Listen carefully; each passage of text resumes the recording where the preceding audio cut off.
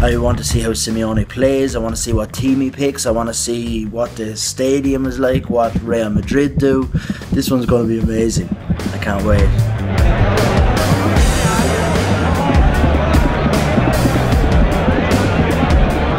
Waiting for the team news. It's a beautiful day here in Madrid. Good to go.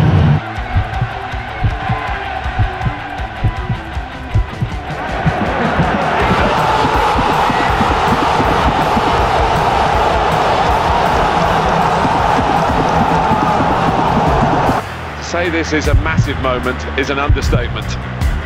Antoine Griezmann puts it away.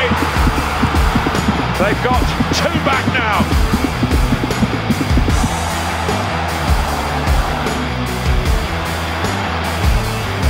Went 2 0 and Benzema has crept in here and Kroos and Isco.